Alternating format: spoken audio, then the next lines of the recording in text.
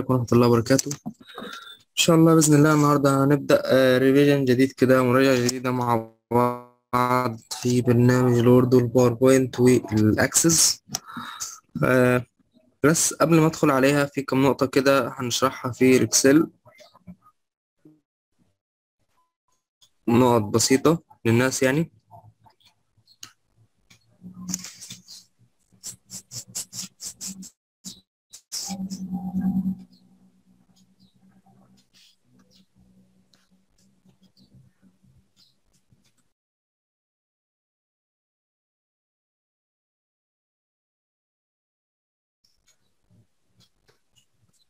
إحنا امبارح أخدنا المعادلات في ال Excel أخدنا معادلات كتيرة. تعالوا كده نجرب دلوقتي نكتب مثلا أي رقم في الخلية دي. وعايز أغير ال data type أو نوع البيانات بتاعة الخلية. أغير نوع البيانات إزاي؟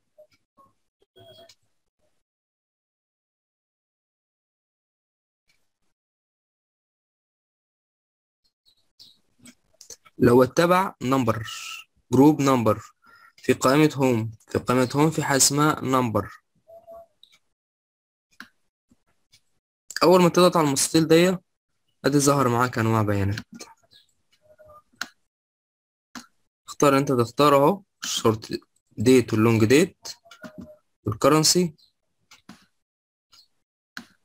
التايم البرسنتج النمبر counting. Scientific. لو جينا كتبنا مثلا أي رقم تليفون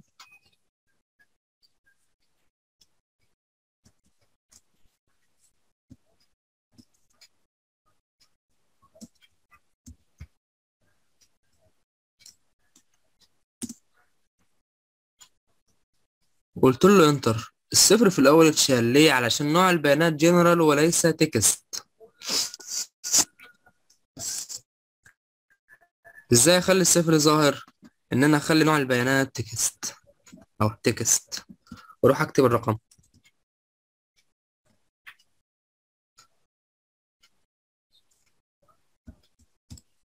أقول له enter أهو. الصفر فضل زي ما هو. الصفر فضل زي ما هو.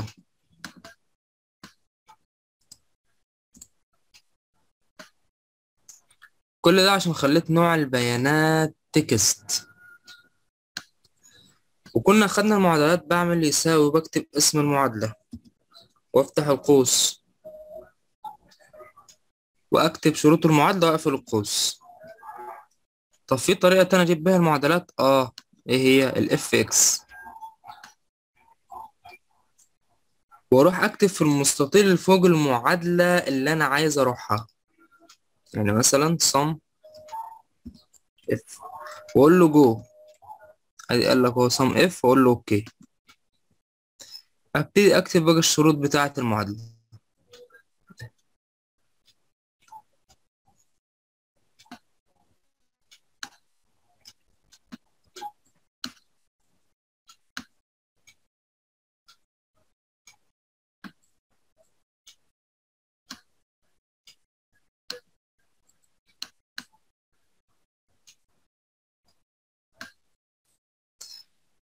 لو جيت دخلت ولقيت شريط الأدوات بالشكل ده فبظهره من فين؟ أول حاجة أفتح أي قائمة عندي ولازم أثبت السهم ده. هدوس عليه وأختار حاجة اسمها always show ribbon يعني دائما اظهر لي شريط الأدوات. دائما اظهر لي شريط الأدوات.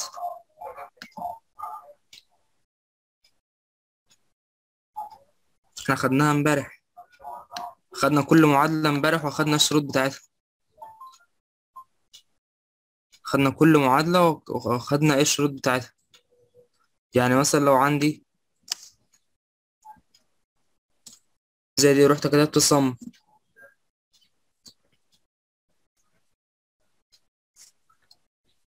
تساوي صم فتحت قوس الشروط بتاعت الصم إيه؟ إن أنا أحدد الرقمين اللي عندي.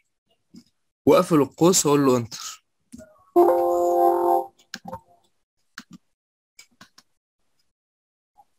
اللي لي غلط لأن حددت معاهم الخلية بتاعه الصم أحدد الخمسة والسبعة بس مع بعض.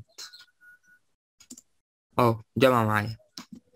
يبقى اللي بيكون ما بين الأقواس دي الشروط الأساسية بتاعه كل معادلة. اللي ما بين الأقواس دي الشروط الأساسية بتاعه كل معادلة.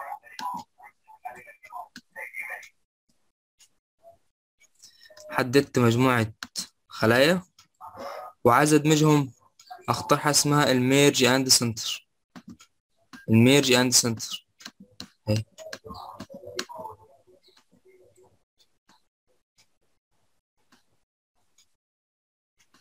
مم.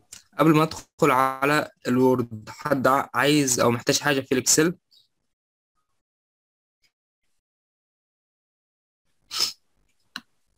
في الأساسيات اللي إحنا خدناها بتاعت الإكسل.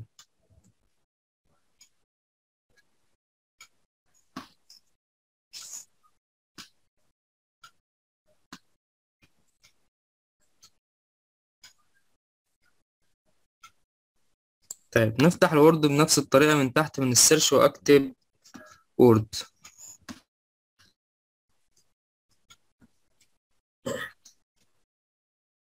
وأروح أفتح حاجة اسمها blank document يعني مستند فاضي. طيب. ال Word بيهتم أكتر بالكتابة. أكتب فيه اللي أنا عايزه.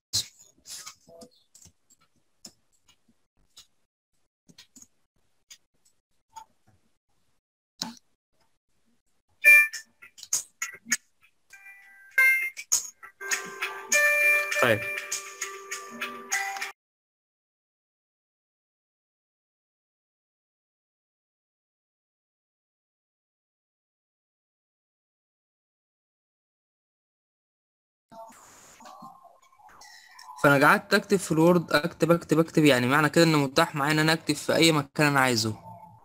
طيب. إحنا قلنا اللي فوق ده اسمه شريط العنوان وده شريط القوائم وده الأدوات واللي تحت شريط الحالة طيب. أنا دلوقتي عايز أغير نوع الخط نوع الخط. أعمل إيه؟ لازم عشان أطبق أي حاجة من الأدوات اللي فوق أروح أعمل إيه؟ أحدد الأول. لازم أحدد الأول. احدد إزاي؟ click شمال click شمال وأسحب على الحاجة اللي عايز أغير التنسيقات بتاعتها. أنا كتبت حاجة في ال Word أهو وعشان أغير click شمال وأسحب عليه click شمال وأسحب عليهم. زي ما أنتم شايفين كده click شمال وأسحب. طيب عايز أبتدي أغير نوع الخط. شايفين المستطيل اللي فوق ده اللي أنتوا شايفينه؟ أهو. ده. اللي في قائمة هوم قائمة هوم في مستطيل بالشكل ده. أول ما ادوس على السهم اللي جنب المستطيل أروح اختار نوع الخط اللي أنا عايزه.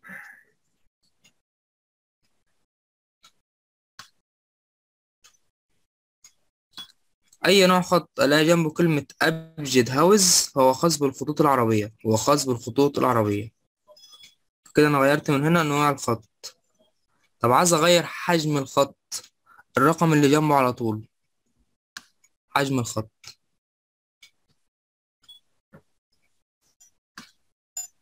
طيب في طريقة تانية لحجم الخط؟ آه في طريقة تانية.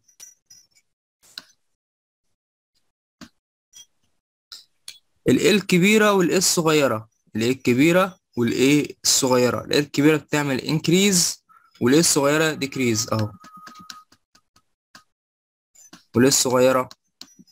بتصغر حجم الخط معاك.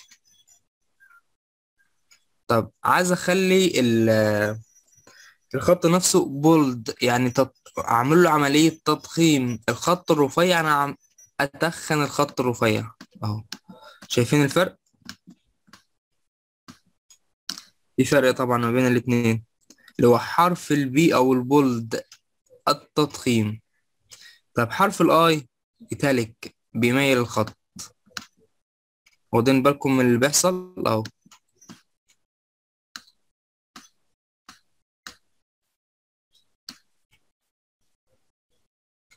طيب ال U بتم... بتحط لي خط تحت الكلمة.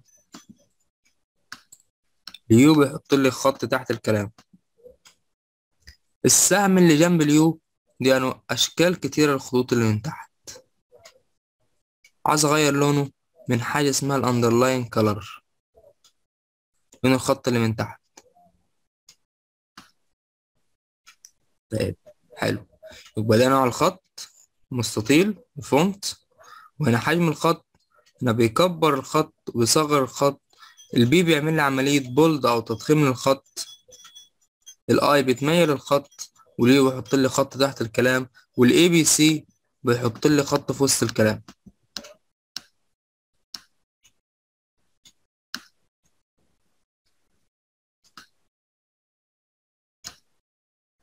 طيب حرف ال A تحتيه مستطيل font color لون الخط. أهو زي ما أنتم شايفين. ده اسمه font color ال A تحتيه مستطيل. gradient ظهر معاك ألوان تدريجية للون اللي أنت مختاره. طيب هنا تحت في حاجة اسمها تحت ال standard color في حاجة اسمها ال more color ألوان أكتر. واختار الألوان اللي أنا عايزها من هنا. يا إما standard من فوق واختار الألوان اللي أنا عايزها. وأقول له OK طيب حرف ال A ده text effect برضه مختص بلون الخط معاك. دي تأثيرات تانية.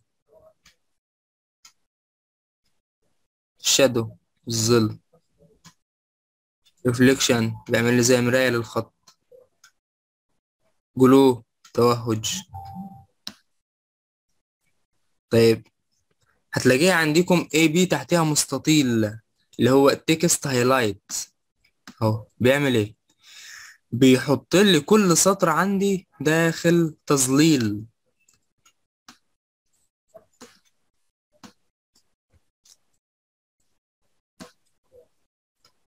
زي ما أنتم شايفين كده.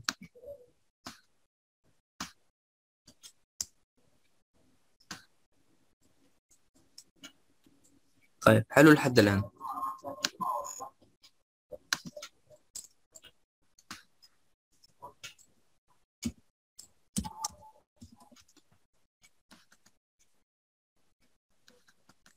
كلمة محمد دلوقتي موجودة في المنتصف. عايز أخليها ناحية اليمين.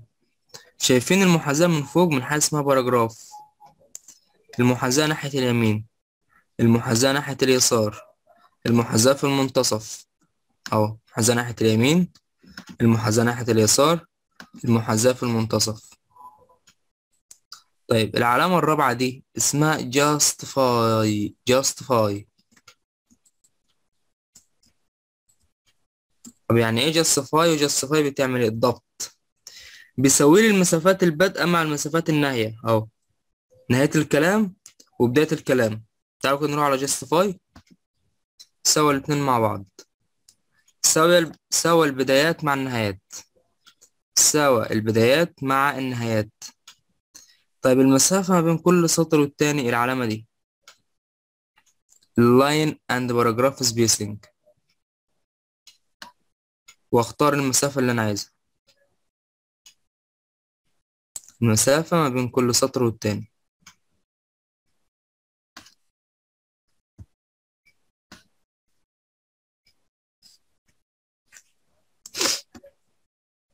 يبقى دي justify. ضبط يساوي البدايات مع النهايات. ودي حاجة اسمها ال line spacing طب تعالوا كده نحدد قطعة زي دي. وأروح على علامة الجردل واختار اللون الأصفر. إيه اللي حصل؟ عمل لي تظليل حوالين كل الكلام اللي أنا محدده. طب تعالوا كده نختار اللي هو ال AB من هنا؟ لا. المرة دي عمل لي تظليل على كل سطر لوحده. فده الفرق ما بين الاتنين. علامة الجردل والعلامة دي.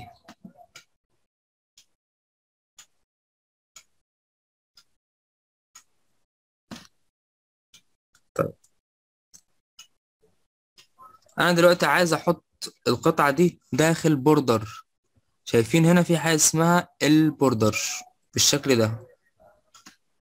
وأختار مثلا اللي أنا عايزه. outside border وال border وهكذا. اهي outside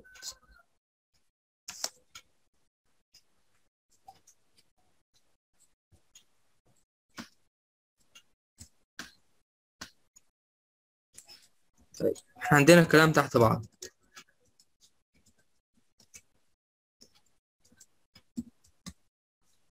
ورحت حددت التلاتة اللي تحت بعض.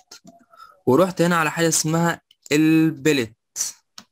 واخترت الشكل المناسب. اللي حصل؟ حط لي نقاط قبل كل كلمة. طب اخترت اللي بعدها ال numbering المرة دي حط أرقام. يبقى دي ال bullet بيحط لي نقاط قبل الكلام وال numbering بيحط لي أرقام.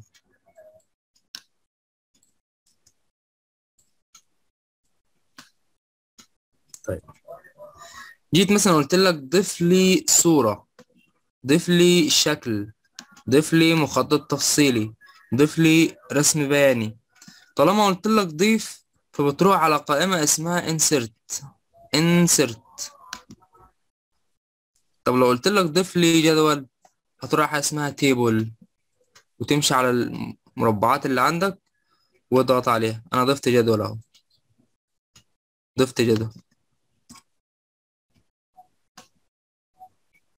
يا إما هضغط عليها وأختار حاجة تاني اسمها insert table.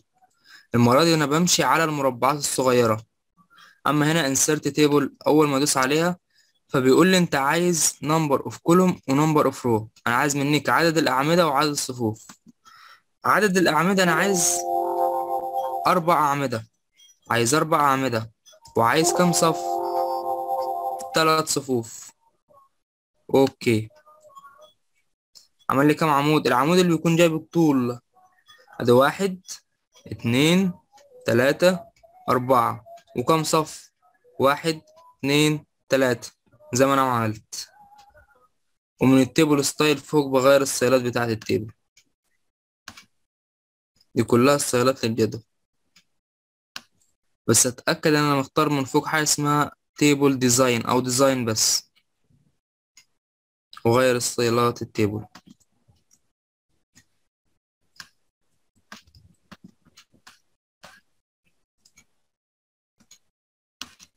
طيب لو قلت لك ضيف لي صورة من picture واختار حاجة اسمها this device. يعني أنا عايز صورة من الجهاز. واختار الصورة اللي أنا عندي وأقول له insert. ضاف لي صورة مهما أحاول أحرك في الصورة مش عايز تتحرك. أحركها إزاي؟ هضغط click يمين على الصورة. واختار حاجة اسمها wrap text واختار behind text. خليها لي خلف النص. لا أنا مش عايزها خلف النص. ممكن أختار in front of text.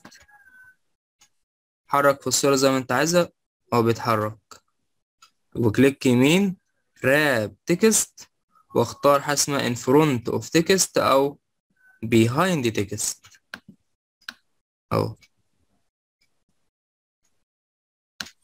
من الدوائر الصغيرة بصغر الصورة زي ما أنا عايز. الدوائر اللي عندي دي بصغر منها الصور زي ما أنا عايز. هنا من فوق في حاجة اسمها ال picture style بتأكد أنا مختار من فوق حاجة اسمها format دي كلها style ات للصورة.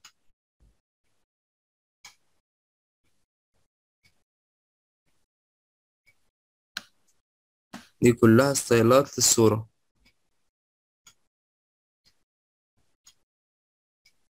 زي ما أنتوا شايفين.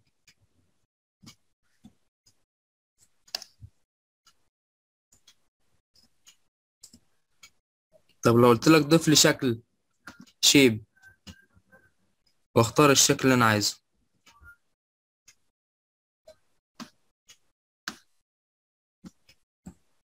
وبرضو من فوق في حاجة اسمها ال shape style. دي كلها style ات للشكل اللي عندك. ده ال shape fill اللي بيدينا الوان أكتر.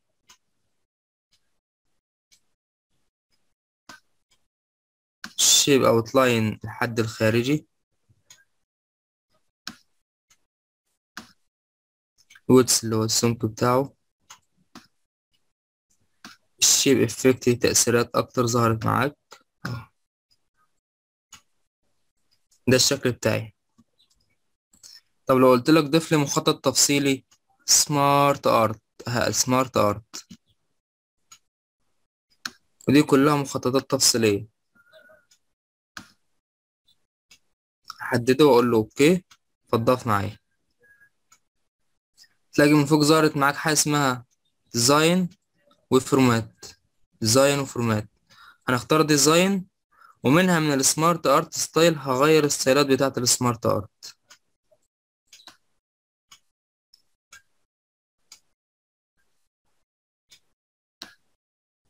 عايز أغير الالوان مش عجباني. من change color وأختار الالوان المناسبة اللي أنا عايزها.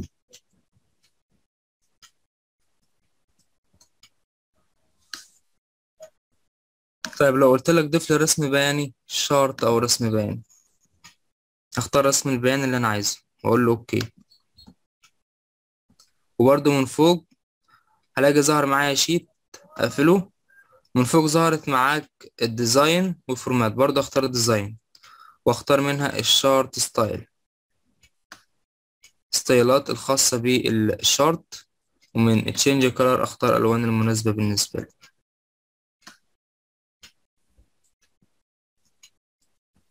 في اي حاجة عايز أضيفها من insert طب أنا عايز أضيف مثلا رقم أرقام للصفحات في حاجة اسمها ال page number ال page number يعني رقم للصفحات طيب انت عايز رقم الصفحات فين؟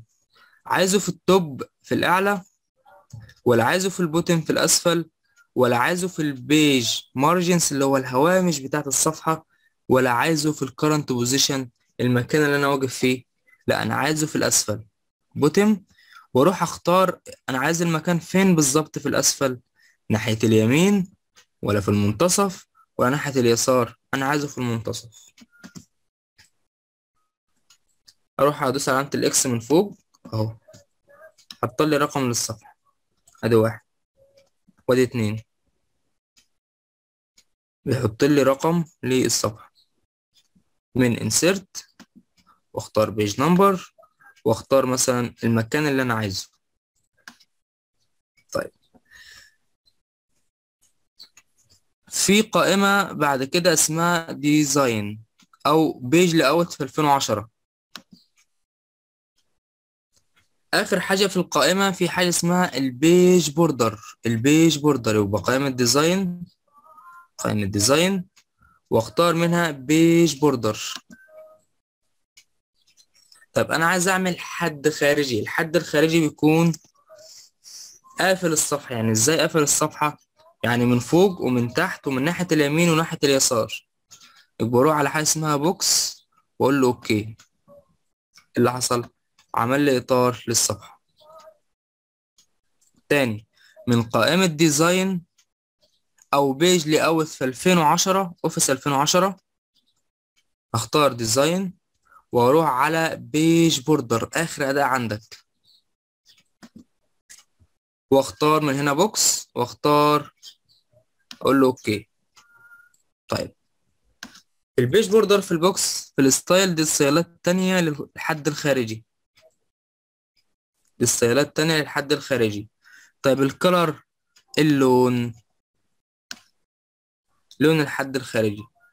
طيب ال weight السمك بتاع الحد الخارجي. قول له okay. طيب. أنا مش عايز حدود أنا عايز أشكال تانية. في كلمة اسمها art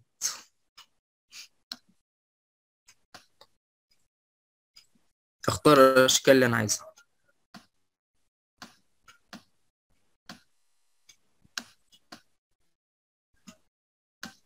قول له okay. هلاقيها اتضافت معايا كحد خارجي من ال page border. طب أنا عايز أغير لون الصفحة.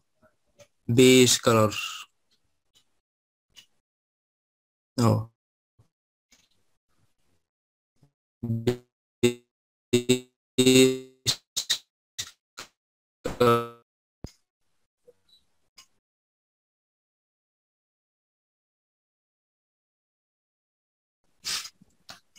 ف design أهم حاجة فيها ال page border إزاي اعمل حد خارجي وال page color إزاي اغير لون الخط. عندك بعد كده قائمه اسمها layout layout margins اللي هو الهوامش يعني هامش الجزء الفاضي اللي هو ناحية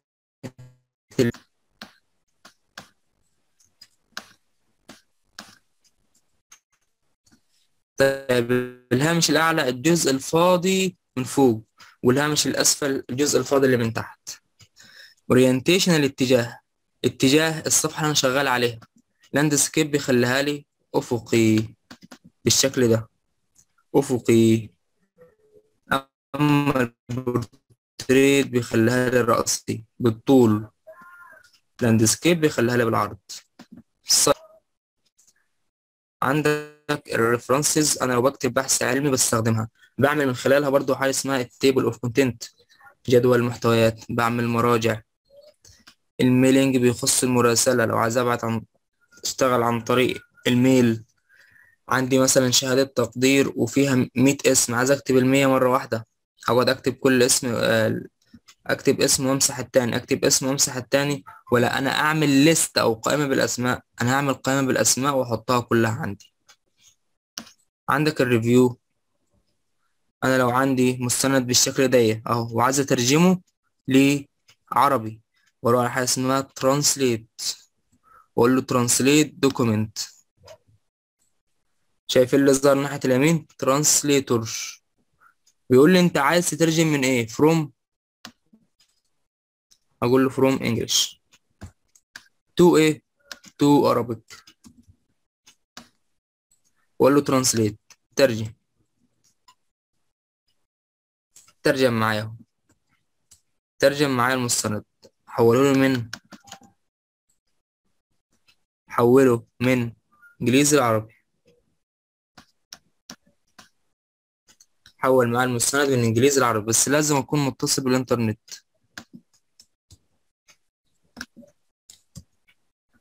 بروح على review review وأروح على review وبختار حاجة اسمها translate وأختار منها translate document يعني أنا هترجم المستند. طالما متصل بالإنترنت هتظهر معاك قائمة ناحية اليمين translator الترجمة. هنا بيقول لي from انت عايز تترجم من إيه؟ أنا عندي دلوقتي عربي يبقى عايز اترجم من عربي.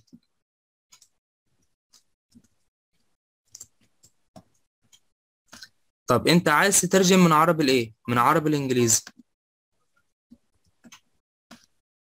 بقول له translate translate منتظر شوية.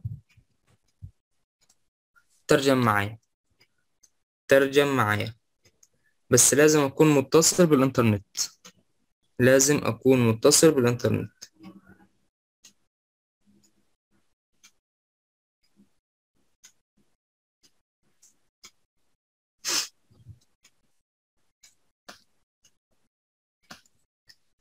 طيب. اللي ممكن نستفاد منها دكتور لو أنا كتبت كلمة بالشكل ده. عمل لي تحتها خط باللون الأحمر معناه إن الكلمة غلط. أول أداة عندك في قائمة review اسمها ال spelling and grammar ال spelling and grammar التصحيح الإملائي. التصحيح الإملائي. هدوس عليها كل الكلام الغلط اللي عندي هيعمل له عملية تصحيح إملائي. يا إما هضغط كليك يمين على الكلمة الغلط وأختار التصحيح بتاعها. طالما ظهر خط أحمر تحتها فأنا بعمل ليها تصحيح إملائي.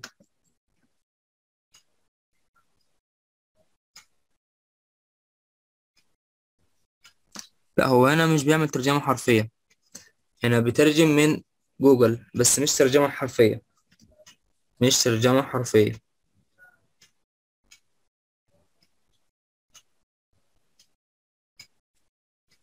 وطبعا أي ترجمة أنا بعملها طبعا لازم أراجع.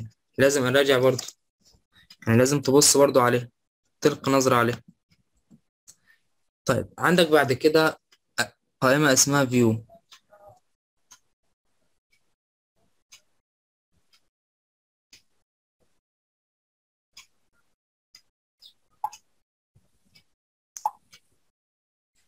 أول خمس أدوات في قائمة view هي طريقة العرض بتاعة برنامج ال Word أهو. طريقة العرض. جرب كده الخمسة. طريقة العرض من view draft طريقة العرض اللي إحنا بنشتغل عليها print layout. print layout. طيب. هتلاقي عندك بعد كده حاجة اسمها show ومتعلم علامة صح على ال rule أو المسطرة. شايفين اللي فوق دي أهو. أنتوا شايفينها دي؟ دي مسطرة. ناحية اليمين دي المسطرة. طب عايز أخفيها أشيل علامة الصح. أهي اتشالت. ركز تتشال طب لو علمت علامة صح على حاجة اسمها ال gridlines اللي حصل في الصفحة؟ شبكة بيانية ظهرت. شبكة بيانية ظهرت. أهو.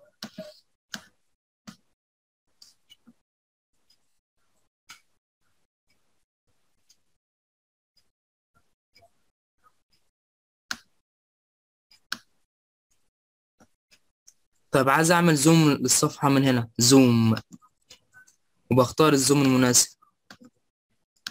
لا لو عايز أكتب أنا ال zoom بنفسي أروح أكتبه هنا تحت. في ال percent في ال percent طب عايز أخليه مية في المية. أروح أضغط هنا مية في المية.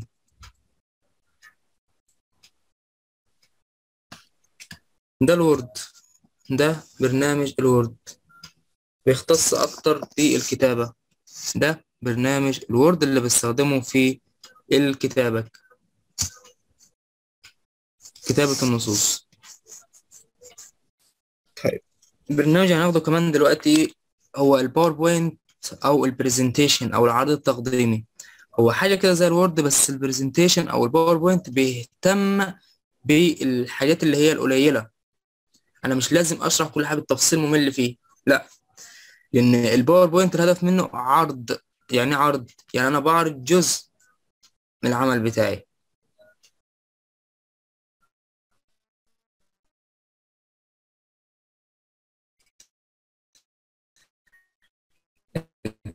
بيهتم بالحاجات المتحركة على الحاجات.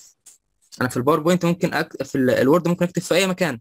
لكن لما تعالوا كده ندخل على ال PowerPoint واقول له blank presentation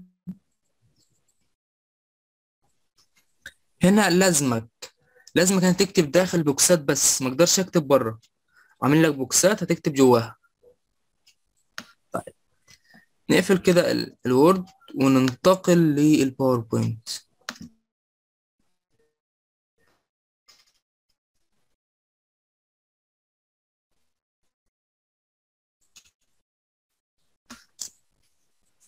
Point أقول له blank presentation المرة دي هتلاقي الأدوات من فوق مش متفعلة. ليه؟ عشان لازم أكون موجود داخل box فأنا هو هنا لازمني إن أنا أشتغل داخل ال box ات دي.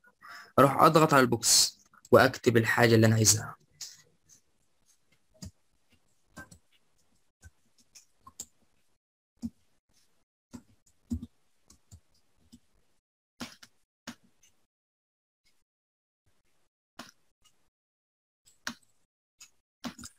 فاكرين كنا بنغير إزاي نوع الخط وحجم الخط ولون الخط من ال- Word بنفس الطريقة ونفس المكان بغيره من هنا اهو. القائمة دي اللي أنتوا شايفينها. لسه واخدينها من شوية في ال Word.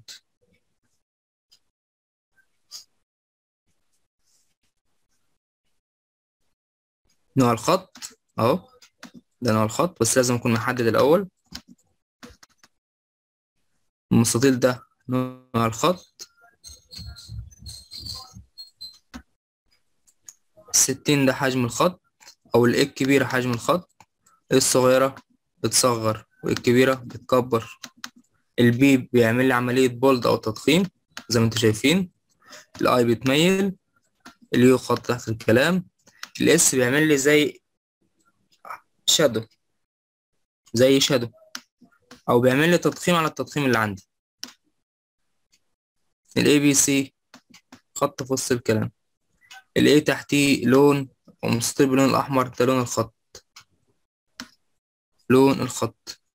ودي برضو المحاذاة. وده اللي هو ال justify وده اللي هو المسافات ما بين كل سطر والتاني. وطبعا فاكرين التعداد النقطي والرقمي. طيب.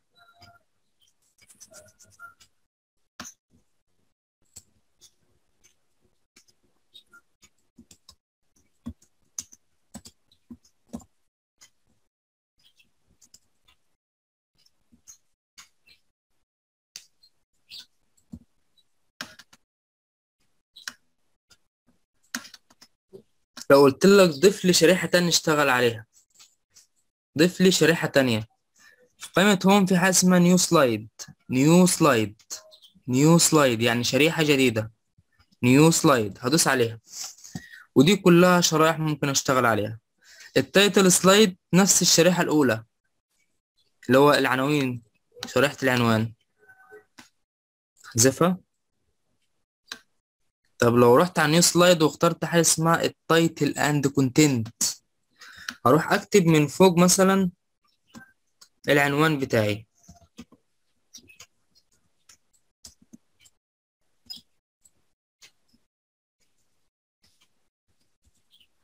طب لو قلت لك ضيف لي ضيف لي صورة هتعمل إيه؟ هتروح على insert تختار picture ضيف لي table من نفس المكان. ضيف لي شكل أهو shape. ضيف لي مخطط تفصيلي. ضيف لي مش عارف آه، رقم للصفحات. فكل ده بعمله فين؟ بعمله في من قائمة insert. ضيف لي فيديو أهو. ضيف لي صوت. طيب أنا ممكن بدل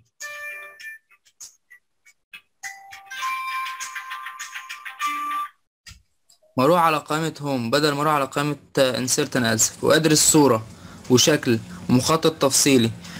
أول ما ضفت الشريحة بتاعت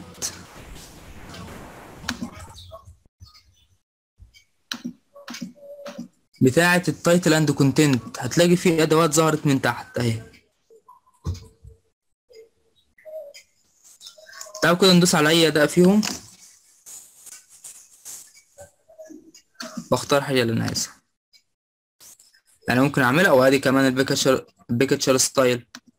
نفس اللي ظهر في ال Word.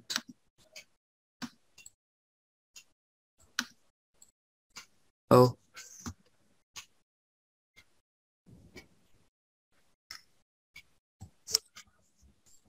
هنا معنى كده من ال home و new slide وأختار ال title and content بكتب هنا العنوان وتحت لو عايز أضيف حاجة من الحاجات الموجودة عندي. حلو.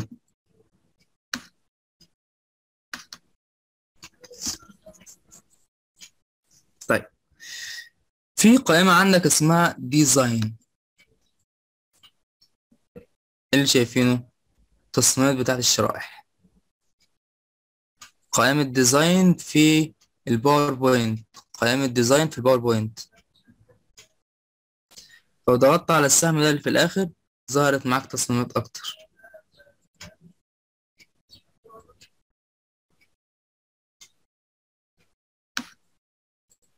زي ما أنتوا شايفين كده.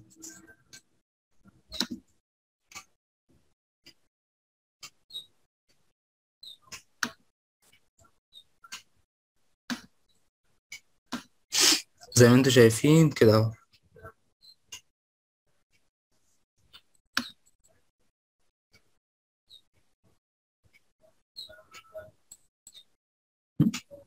حاجة زي إيه على الوورد؟ حاجة زي إيه؟ طب زي إيه؟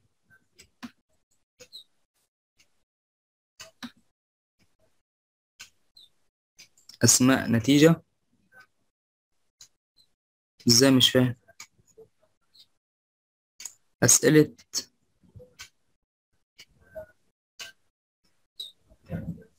يعني حضرتك محتاجة تعملي أسئلة على الوورد؟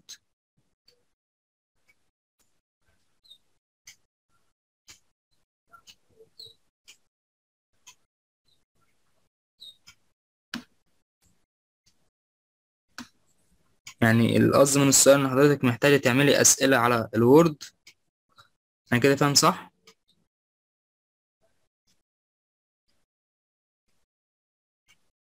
تمام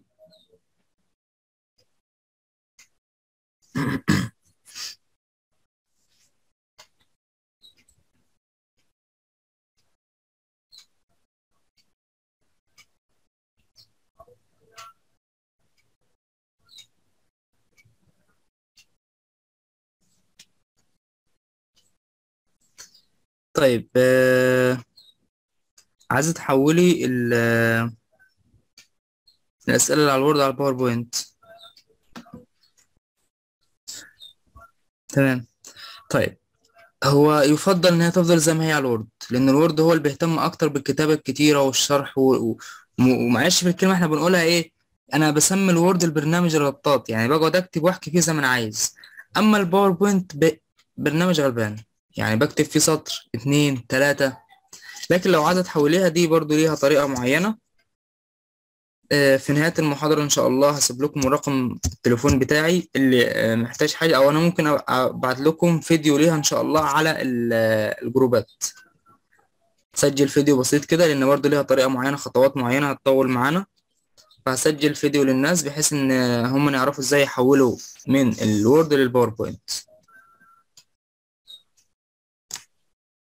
في حل تاني بس برضو يعني ممكن نجربه مع بعض سريعا كده.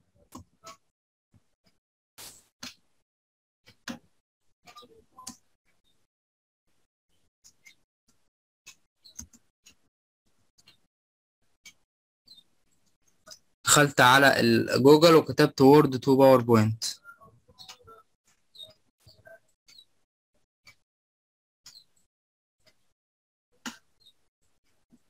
أهو. Convert word to ppt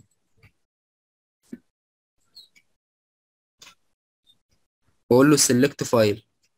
واحدد ال file بتاعي وأحوله. دي طريقة اونلاين على فكرة.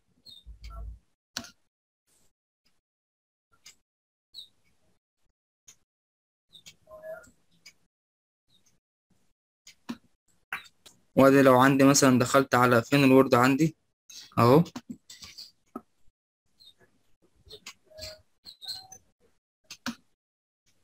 في قائمة عندك اسمها قائمة file قائمة file file. وفي حاجة اسمها export export يعني تصدير.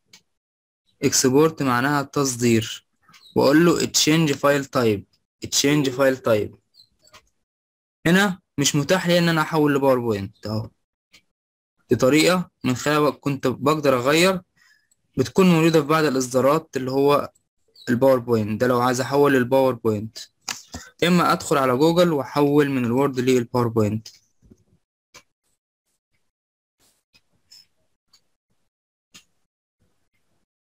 تمام فاهم حضرتك. مفيش مشكلة. دي طريقة. file export اللي هو تصدير. ومن change file type بختار الامتداد اللي أنا عايزه ال PowerPoint اللي هو ال PPTX يا إما بدخل على جوجل وبكتب اللي إحنا كتبناه. دول طرق بسيطة بقدر بقدر أحول بيها. هل في طرق تانية؟ آه في طرق تانية كتير. إن شاء الله بإذن الله يعني لو كده أنا ممكن أبعت للناس فيديو كده بسيط يعرفوا من خلاله برضو إزاي يحولوا حاولوا الناس بس يجربوا الطرق اللي إحنا خدناها دلوقتي ولو في أي مشكلة إن شاء الله أنا معاكم. زي ما قلنا نكمل الشرح بتاعنا. الديزاين بتعمل إيه؟ بيغير معاك التصميمات بتاعت الصفحات زي ما أنتم شايفين.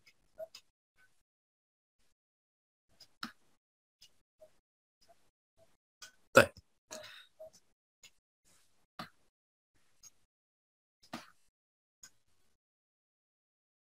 عندنا بعد كده حاجة اسمها ال transition transition اللي هو الانتقالات ما بين كل شريحة والتانية. تعالوا كده نختار transition زي ده.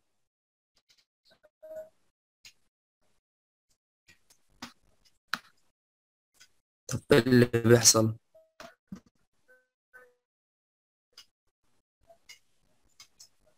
ال transition ده هيبين لنا أكتر إيه وظيفته. إيه وظيفته؟ وظيفته اللي هو طريقة الدخول. لما يجي يدخل على ال-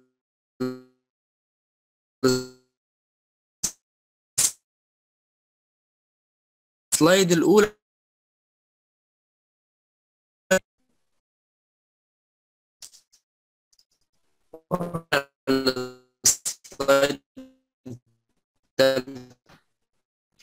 لما يجي يدخل على السلايد يدخل برضه بشكل تاني يعني معنى كده التران دخول ما بين كل شريحة والتانية. أدخل على الشريحة الأولى ليها انتقال معين اختاره من هنا. علشان أدخل على الشريحة التانية ليها انتقال معين اختاره من هنا. علشان أدخل على الشريحة التالتة برضو ليها انتقال معين برضو بختاره من هنا. يبقى معنى كلمة transition ده شكل الدخول للشريحة. من transition بختار من هنا الشكل المناسب بالنسبة لي. اختار transition الانتقالات واختار الشكل المناسب بالنسبة لي. طيب بعد كده في حاجة اسمها ال animation. animation. طيب مش هتلاقيها متفعلة. ليه؟ ليه مش متفعلة؟ لأن ال animation مختصة بقى بشكل الدخول بتاع الكلام ال... مش مش شرط الكلام. أي حاجة موجودة داخل الشريحة. شكل الدخول بتاعه. أنا حددت أهو. ورحت اخترت مثلا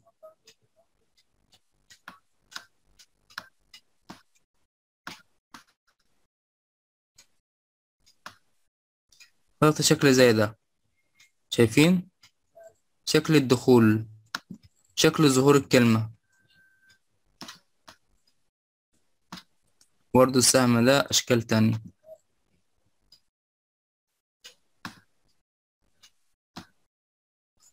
يعني معنى كده إن الأنيميشن المؤثرات الشكل بتاع الظهور بس المرة دي مش للشريحة لأ للكلمة نفسها.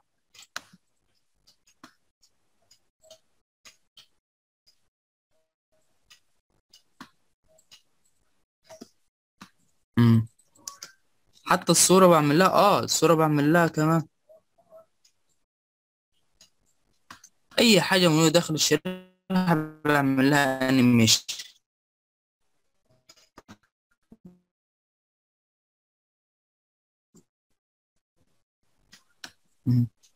الشريحة بعمل لها animation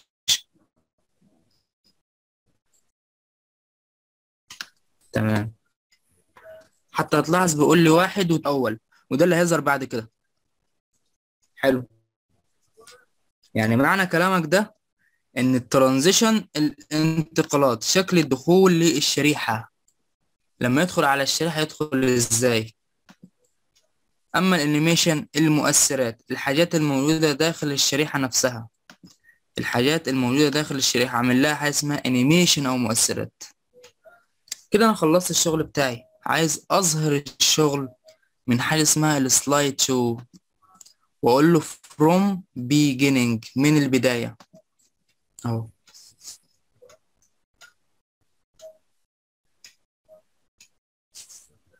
أضغط على ال direction أو الاتجاهات بتاعت ال- لوحة المفاتيح.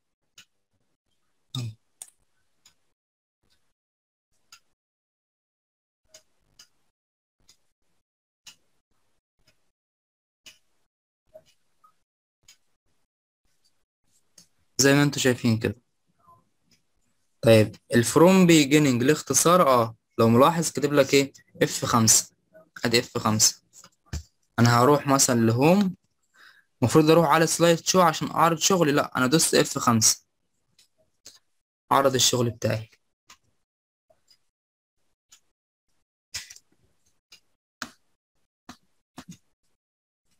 أدي ال PowerPoint وبسيط. مفيهوش أي مشكلة. أدي من هنا بضيف شريحة slide جديدة. design تصميمات بتاعت كل شريحة أشكال كل شريحة. transition الانتقال الانتقال طريقة الدخول لكل شريحة. animation المؤثرات لل... للحاجات الموجودة داخل الشريحة. قائمة home زي ما أخدنا لون الخط وحجم الخط. insert لو عايز أضيف صورة أضيف شكل أضيف مخطط تفصيلي أضيف رسم بياني وهكذا. ده ال PowerPoint بكل بساطة حد عنده مشكلة؟ حد عنده مشكلة في ال PowerPoint؟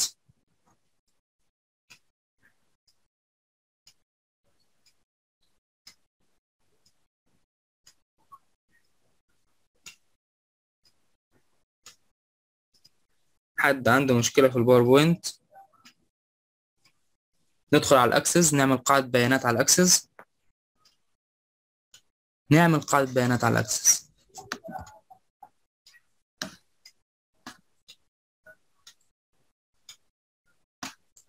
طيب. برضو بنفتح ال Access من نفس الطريقة. Access. طيب.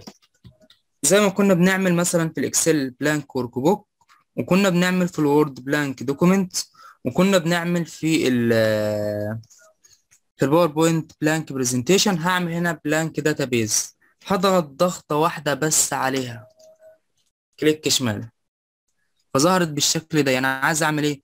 أنا عايز أعمل قاعدة بيانات جديدة. حلو.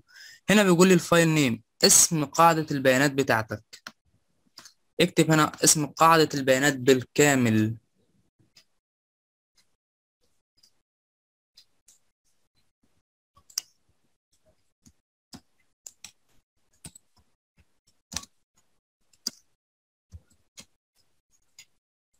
كتبت اسم قاعدة البيانات.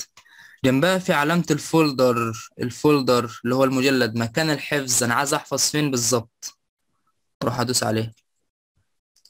وأروح أحدد من هنا مكان الحفظ. وأقول له بعد كده okay. خلصت مكان الحفظ وعايز أبتدي أشتغل أقول له create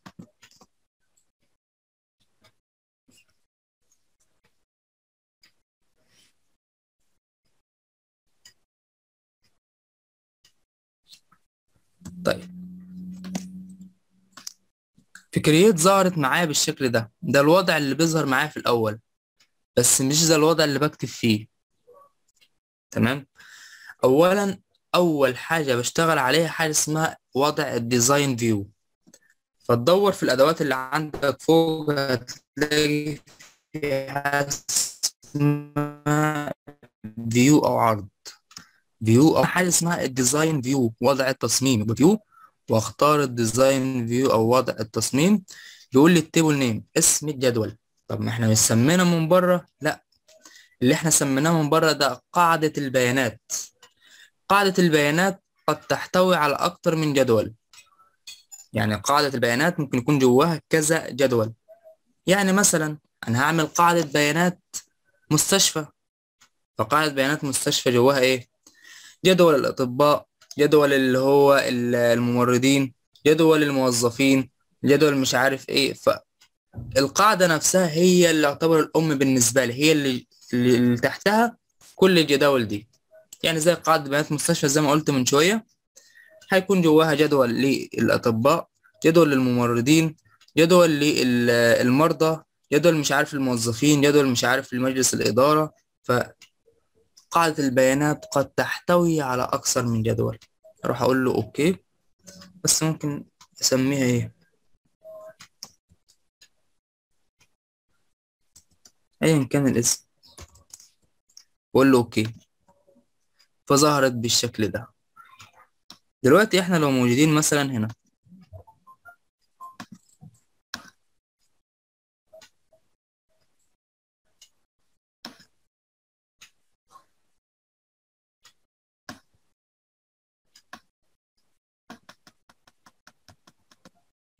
ورحت هنا كتبت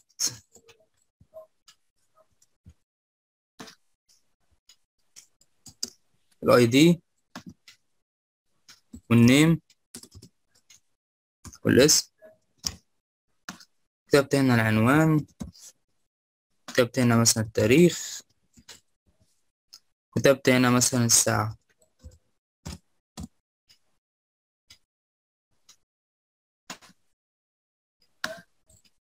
طيب البيانات اللي أنا هكتبها في ال table من تحت أنا هكتبها على أساس إيه؟ أنا هكتبها على أساس الصف الاساسي بتاعي.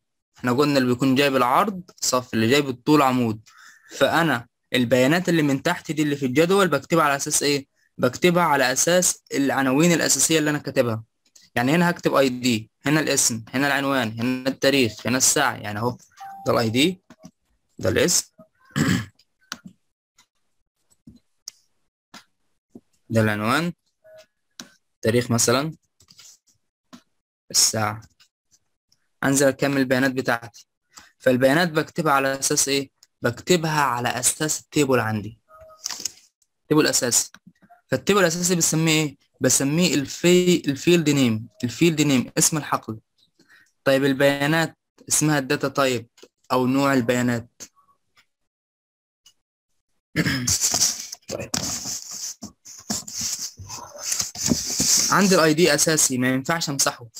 ما ينفعش أمسح ال ID ما ينفعش أمسح ال ID أدوس enter enter enter نزلنا على اللي تحته.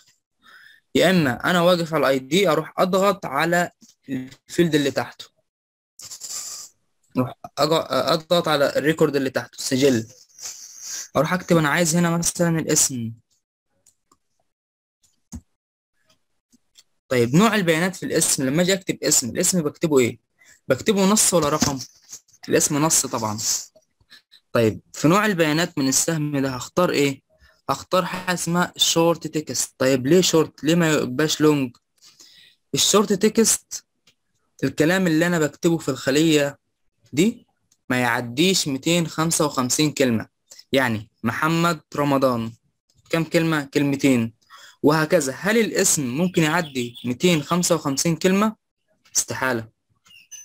طيب لو عدى أختار long يعني لما أجي أختار السجل اللي تحته العنوان هروح أختار long text طيب رقم التليفون. رقم التليفون بيكون نص ولا رقم؟ بيكون رقم. فأختار number طيب عندك بعد كده حاجة اسمها التاريخ والوقت. طيب التاريخ والوقت هختار من نوع البيانات إيه؟ ال date and time لو عندك بعد كده العملة. العملة هختار إيه؟ من هنا. currency. currency. كر... العملة معناها بالإنجليزي currency. حالة الدفع. يعني إيه حالة الدفع؟ يعني دفع ولا لا؟ دفع ولا ما دفعش؟ طالما قلت آه أو لأ فبختار حاجة اسمها ال yes or no. yes or no.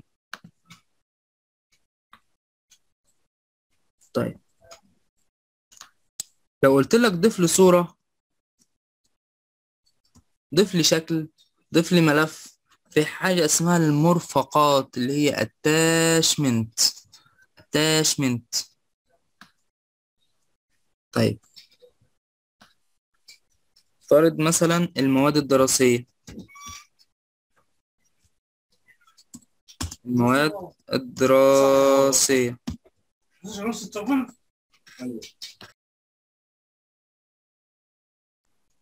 المواد الدراسية. هل المواد الدراسية بتكون مادة واحدة؟ لا. كذا مادة. أكتر من مادة. فأنا عايز أعمل list أو قائمة أختار منها.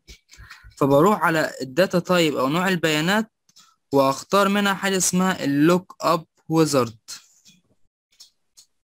طيب لو عايز أضيف link hyperlink خلينا دلوقتي أنا عايز أعمل list ال list بعملها من حاجة اسمها ال lookup wizard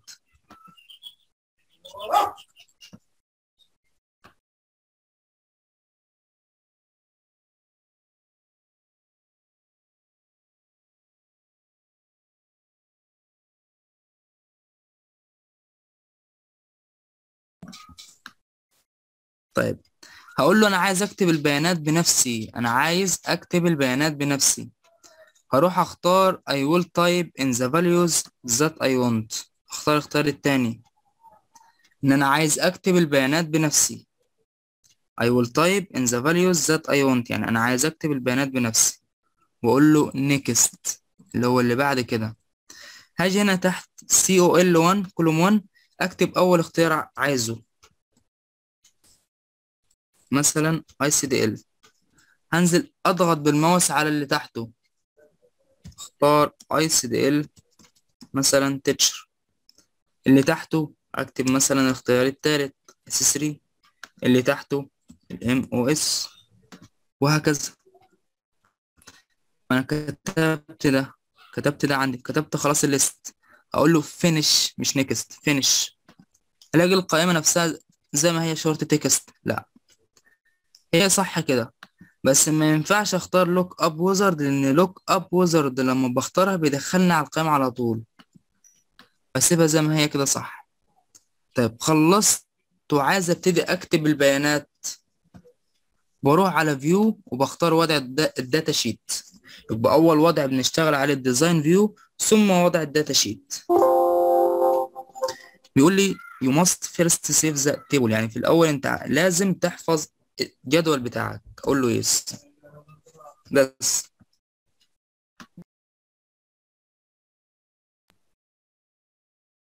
أبتدي املي البيانات أهو. أنا الاسم أكتب أول اسم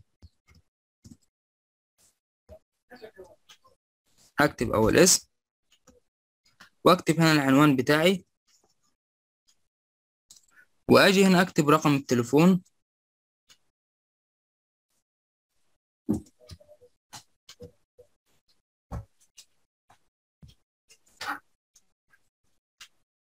وهنا في التاريخ والوقت جنب التاريخ والوقت في زي مربع أو أجندة هدوس عليها. واختار التاريخ بتاعي. واختار التاريخ بتاعي. هنا العملة. أهي. هنا. تمام. أنا أنا خلصت خلاص أنا كل حاجة أنا بس بملي البيانات. حالة الدفع. لو جيت علمت علامة صح على المربع معناها دفع. طيب شلت علامة الصح. معناها ما دفعش. معناها ما دفعش. طيب. ده بقى شكل المرفقات. شكل المرفقات. جنب الرمز ده في صفر. حضغط عليه ضغطتين كليك شمال. ضغطتين على الصفر كليك شمال. على الرمز والصفر. فأنا عايز أضيف صورة. أقول له آد إضافة. واختار الصورة اللي أنا عايز أضيفها.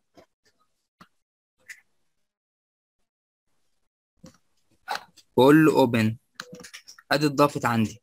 طب عايز أضيف حاجة تانية؟ برضه أقول له add ومش شرط الصورة على فكرة. ممكن أضيف مثلا ملف. قال لي أهو اتضافت معايا. خلصت. أقول له okay قال لي اتنين اتنين. وبكده انت ضايف مرفقين هنا. المواد الدراسية لما أجي أضغط على السهم اللي عند المواد الدراسية أضغط على السهم اللي من تحت دي أدي القائمة عندك واختار. اختار منه. أضغط enter أنزل اللي تحت. enter تاني. بمجرد ما هكتب تاني اسم ما كتب لي اتنين. ليه كتب لي اتنين؟ لأن أنا مختار ال ID auto number رقم تلقائي. يعني رقم تلقائي يعني يرتب لي ترتيب تلقائي.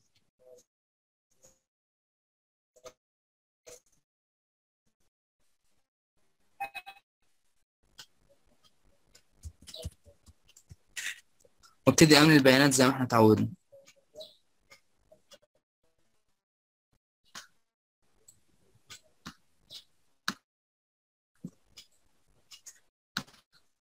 أنزل هنا تحت بالم... فدي الطريقة اللي بملي بيها البيانات.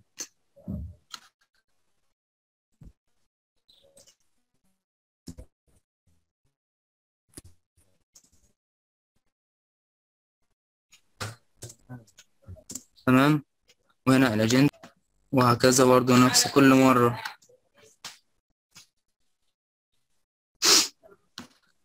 نفس كل مرة. طيب. في الداتا طيب حاجة اسمها حساب.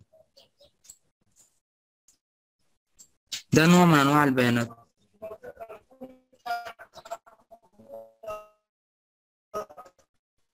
أنا عملت البيانات بتاعت خلاص. أنا بملي أنا بملي بيانات.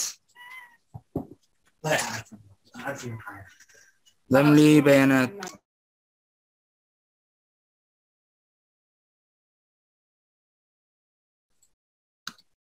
طيب. في قائمة من فوق اسمها create create create تعالوا كده ندوس عليها. واختار حاجة اسمها ال query design. query design فهتلاقي فيه مستطيل طويل ظهر معاك. هتلاقي ال table اللي عندك متحدد. لو مش متحدد أحدده وأقول له add أو إضافة. وأروح أقفل القائمة. أول ما أقفل القائمة هلاقيه ظهرت معايا بالشكل ده أهو. ظهرت معايا بالشكل ده. طيب. أنا عايز أقول له والله أنا بدل ما هتظهر لي ال table ده كله أنا مش عايز كل ده. أنا مش عايز الاسم والعنوان ورقم التليفون والتاريخ والعملة وحالة الدفع والمرفقات والمواد الدراسية لأ. أنا عايز أدور بس على الاسم ورقم التليفون. هروح في ال field من تحت أختار الاسم. واللي جنبه أروح أختار مثلا رقم التليفون. طيب أنا اخترت من هنا الاسم ورقم التليفون. وبروح على كلمة query 1 اللي من فوق دي أهي. كلمة query 1 هضغط click يمين عليها. وأقول له save أو حفظ. وأكتب اسم الاستعلام. أقول له okay أقفله. تلاقي ظهرت معايا في القائمة ناحية اليسار queries. هضغط عليه ضغطتين click شمال عشان أفتحه. أهو اللي ظهر الاسم ورقم التليفون بس. يعني أنا عايز استعلم بس على الاسم ورقم التليفون. أنا مش عايز الجدول ده كله. أنا عايز بس أشوف الاسم ورقم التليفون. حلو. طب أنا رجعت للجدول الأساسي بتاعي. أهو. ورحت على create تعالوا كده نختار المرة دي حاجة اسمها ال form وليس form design form بس form ادي شكل ال form شكل الاستمارة بتاعتي. أحفظها إزاي؟ click يمين عليها من فوق أقول له save أقول له استمارة.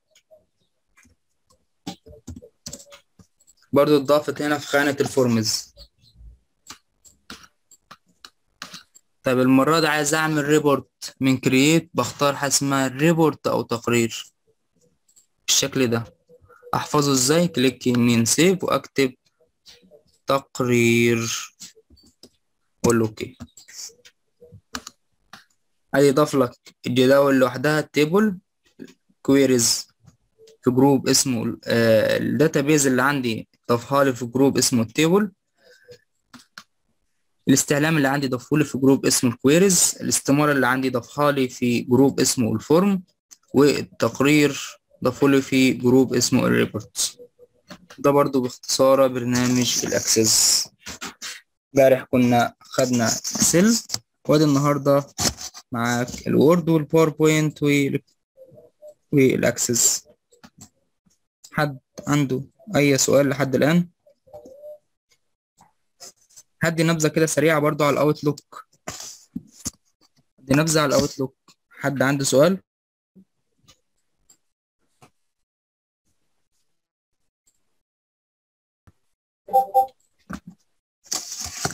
برضه هتلاقي يعتبر نفس الاستخدامات يعني برامج الأوفيس كلها استخداماتها واحد.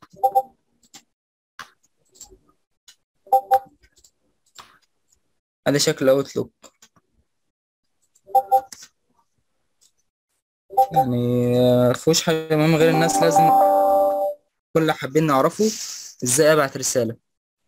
من فوق خالص في قائمة اسمها قائمة هوم. قائمة اسمها قائمة home. واختار منها حاجة اسمها new email يعني إيميل جديد. إيميل جديد أنا هبعت إيميل جديد.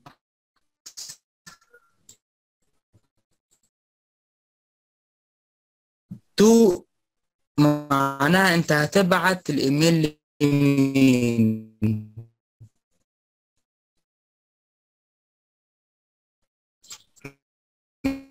مين اللي هي حاجة اسمها ال carbon copy اللي هو نسخة معروضة. طيب ال BCC نسخة مخفية اللي هو blind carbon copy الرسالة. طب ال CC الشخص اللي بعت له الرسالة. حلو. طيب أنا حطيت هنا خمس أشخاص. الخمسة كل واحد فيهم أنا عارف بعت لمين يعني الشخص التاني اللي عندي عارف أنا بع... أنا عارف الشخص الأول وعارف التالت وعارف الرابع وعارف الخامس. ليه؟ لأن أنا كلهم كتبتهم جنب بعض هنا. فكل واحد من الخمسة عارف أنا بعت لمين طب ال BCC لو حطيت خمسة جنب بعض كل واحد ما يعرفش أنا بعت لمين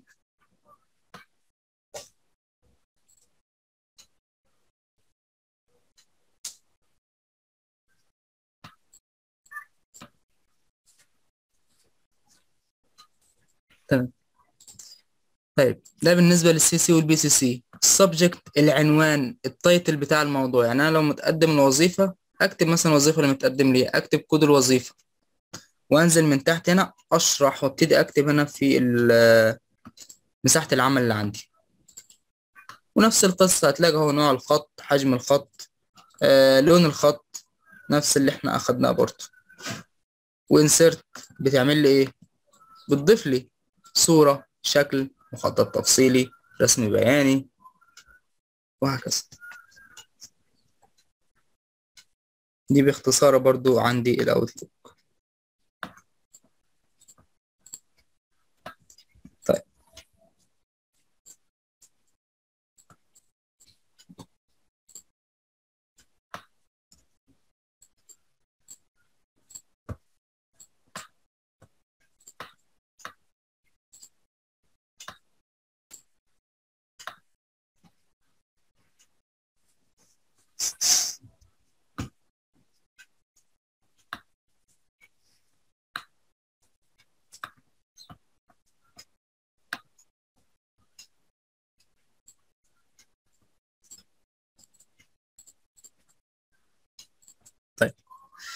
دائما الطريقة اللي أغلب الناس بتتبعها عشان تحول من حاجة لحاجة بتدخل على جوجل تكتب مثلا أنا عايز أحول من Word to Excel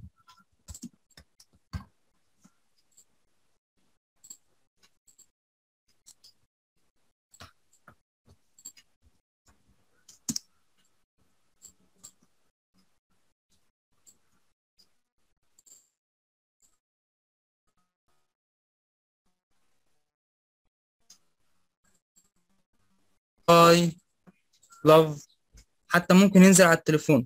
البرنامج ده ممكن يخليني أقدر أحول زي ما أنا عايز. كل تحويلة أنا عايزها. من Word ل Excel من Word ل PowerPoint من Word مش عارف لإيه.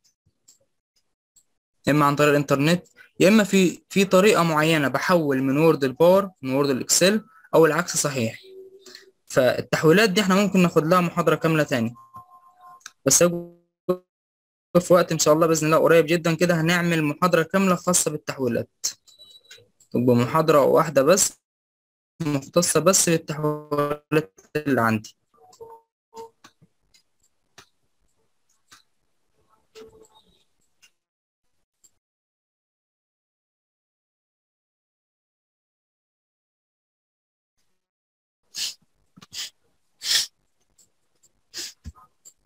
بدرج عادي الجدول بتاعي من انسرت ابتدي أظبط الجدول أهو.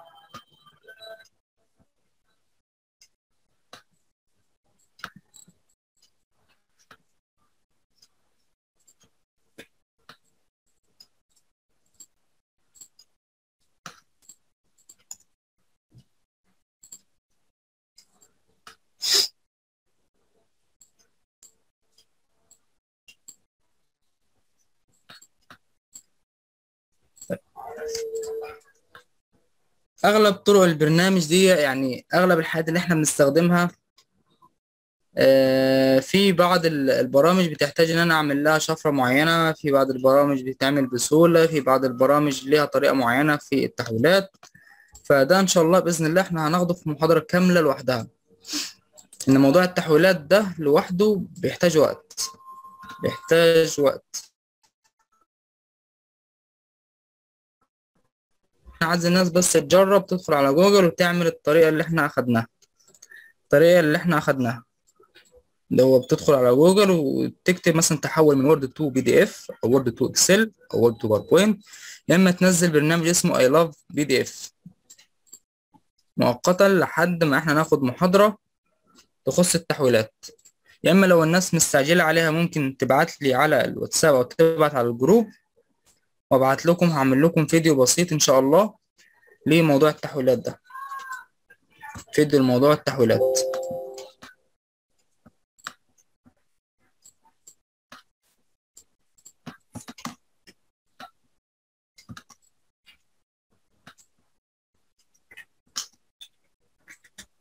حد عنده سؤال لحد الآن غير موضوع التحويلات؟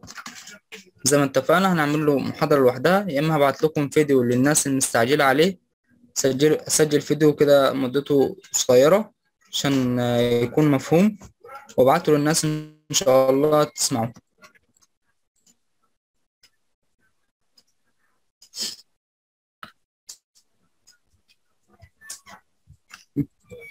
حد عنده سؤال؟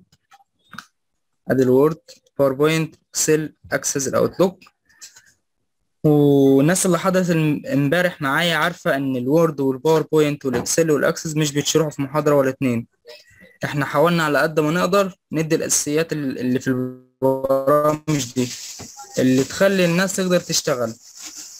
اللي تخلي الناس تقدر تشتغل على الأربع برامج. يعني دلوقتي اللي حضر معايا امبارح والنهاردة هل هيقدر يشتغل على الوورد والباوربوينت والإكسل والأكسس؟ آه. هيقدر يشتغل على الأربع برامج. هيقدر يشتغل على الأربع برامج وبكل سهولة إن شاء الله. فبالتوفيق لكم إن شاء الله وربنا يوفقكم بإذن الله فيما هو قادم.